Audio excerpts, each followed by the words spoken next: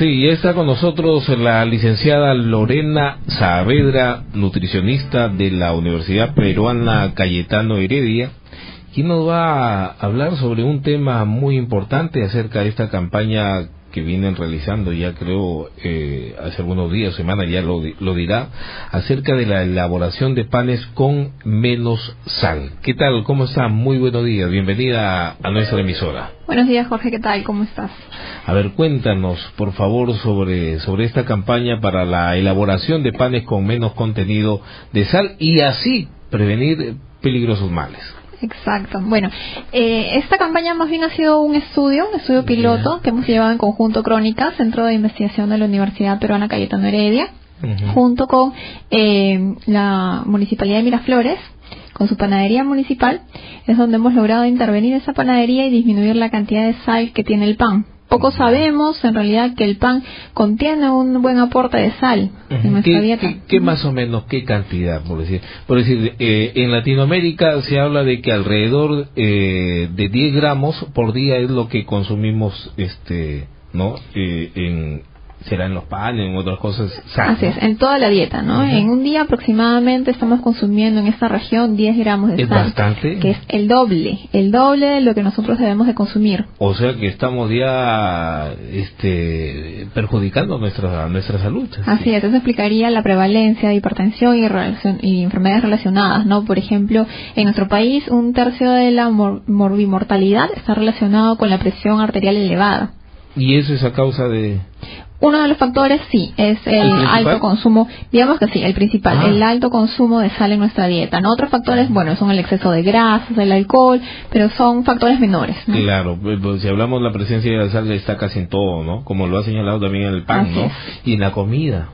Y a pesar que no lo sentimos, ¿no? En el pan, Sí. bueno, Sí, pues, no, no, parece neutro. Sí, sí, pero sí hay buena cantidad Sí, hay una buena cantidad. Justo me preguntabas eso al inicio, ¿no? Aproximadamente en cada pan Sí. eh, va medio gramo de sal. Entonces, nosotros no consumimos un pan al día. Lo que consumimos En es cada pan, ¿no? En cada pan. En cada pan. En cada Ahora, pan. consumimos a veces como mínimo tres panes. Mínimo, ¿no? Entonces, Mínimo. ¿no? imaginemos que estamos consumiendo dos en la mañana, dos en la noche, con cuatro panes ya llegamos a dos gramos. que No, es pero algunos yo por decir, eh, antes comía tres en la mañana, el desayuno, aparte en la noche o a veces por ahí que te provoca, ¿no?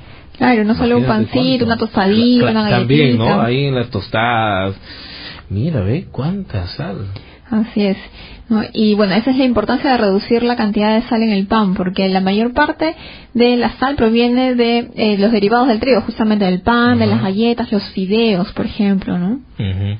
Ahora, esto, esta campaña se viene ya realizando con bastante fuerza en gran parte de Europa. Así es, no solamente en Europa, hay países desde Australia, por ejemplo, desde el otro lado del, del, del mundo, ¿no? A, como en Chile, en Argentina, ¿no? Países que ya tienen estas, eh, esas políticas, son políticas públicas a nivel nacional, ¿no? Sin embargo, aquí en el Perú son pocas las intervenciones que se hacen para disminuir el consumo de sal en la Ajá. población. Y ahora, este, por decir, eh, es difícil de, de hacer, no sé, digo yo, un reglamento, una ley, algo que, que obligue a las panaderías a, a bajar este, el volumen de sal que se utiliza. Bueno, necesitamos voluntad política, ¿no? Que muchas veces no la, no la tenemos del lado de la salud. ¿no? Pero bueno, eh, te comento, ¿no? En el distrito de Miraflores lo que se ha hecho es una invitación general. No se ha normado esto a nivel de todas las panaderías, pero se les ha hecho una invitación. Y cinco panaderías voluntarias han sumado a esta iniciativa. Ahora, te digo, eh, por decir, y lo has mencionado, que la sal casi no, cuando consumimos pan, ni notamos. ¿Eso quiere decir que se puede dejar de lado la sal o sí o sí tiene que estar presente en el pan? Sí o sí debe haber un porcentaje mínimo, ya que eh, la sal es un ingrediente esencial, no es el que eh, impide que el pan se siga elevando, ¿no? Ah. Interactúa con la levadura. Entonces necesitamos de todas maneras un poquito de sal, pero no tanto como se está utilizando, ¿no? Ahora, en todo caso, apelar a la, a, a la reflexión de cada uno de nosotros, ¿no? Así Para es, de también. repente bajar el consumo de, de pan. Disminuir un poco el consumo de todo lo que son harinas derivados de trigo, ¿no? Ujú. Ahora, están entonces con, con esta panadería en Miraflores. ¿Tienen pensado hacer eh, este y abrir conciencia en otras panaderías de otros distritos? Sí, sería muy interesante, ¿no? A través de, por ejemplo, estos medios, ¿no? Que llegue a las autoridades locales, de otros otros distritos de no solamente de Lima, ¿no? De todo el Perú, porque en todo el Perú consumimos bastante pan. ¿Cómo se dio la, la, la, conversación o esta esta unión con la municipalidad? ¿Ustedes fueron tocaron la puerta? Eh, bueno, teníamos el contacto, sí. Nosotros conversamos un poco, ¿no? Y, y de una forma, bueno, nosotros estamos haciendo otro estudio de sal sobre las intervenciones de sal en el norte y eh, bueno, fue de manera coincidente conversamos eh, acerca del consumo de pan, que la municipalidad tendría un espacio, ¿no? En la panadería municipal y bueno, y Crónicas eh, de la Universidad Peruana Cayetano Heredia se encargaría de la realización del estudio, ¿no? O sea, tiene una base científica eso, ¿no? No es solamente una intervención dada hacia el aire, ¿no? Eh, y se están evaluando indicadores periódicamente. Claro, con lo, lo, que ustedes, amigas, amigos, entiendan de que por decir esto lo que nos está eh, manifestando eh, Lorena no no es que creo, ¿no? Así es. es que de repente le contó a la vecina que al parecer estaría esto perjudicando la salud. No, es algo concreto. Es algo concreto. Se han, se han hecho investigaciones. Analizado. El exceso de sal en nuestros alimentos nos están perjudicando por eso nos ha señalado este este problema no de la hipertensión arterial no Así es, la hipertensión arterial pero no es el único problema no Otro, otras enfermedades relacionadas con el exceso de sal por ejemplo podría ser el, el cáncer de estómago también. Incluso un consumo excesivo de sal está relacionado indirectamente con la prevalencia de diabetes. ¿Por qué?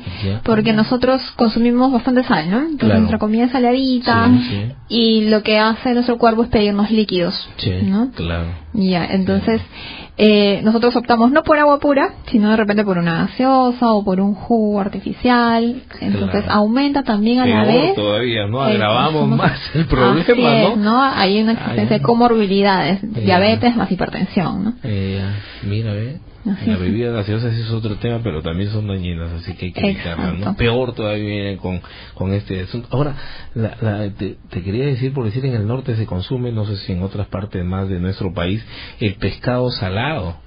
Claro, es otra sea, fuente. que... Y en todas las casas me parece, bueno, encontramos un salero en la mesa, ¿no? Ah, no, ¿nos mencionaste hace ratito que estuvieron por el norte? Sí, sí, así es, Sí, también se ha evaluado el consumo de sal allá y hemos encontrado efectivamente que está aproximadamente en 10 gramos de sal por día. Ah, por persona, exacto. Eh, Ahora, por decir, cuando se consume con su paltita con sal, no sé si algunos tendrán la costumbre, ya, o no solamente en el pan, sino también en algunas ensaladas, en algunas cosas, este, ahí, ¿cómo, cómo, cómo, cómo medir? ¿Mejor es consumirla sin sal? De preferencia sin sal o baja sal, ¿no? Otra recomendación que les podría dar es consumir la sal de maras, que contiene eh, otros tipos de sales, no ¿Sal de Sal de maras. Ya. La sal de maras, ¿no? Que contiene otros tipos de sales, que no solamente tienen sodio, tienen magnesio, tienen yodo, otros minerales, ¿no? O consumir alternativas reducidas en sodio, como son las sales de potasio que vienen en el mercado las encontramos, ¿no? ¿Cómo que se puede pedir, por decir, en los mercados? Eh, bueno, la encuentran en los supermercados. Ya. Y las van a encontrar en frascos donde indican 50% menos sodio.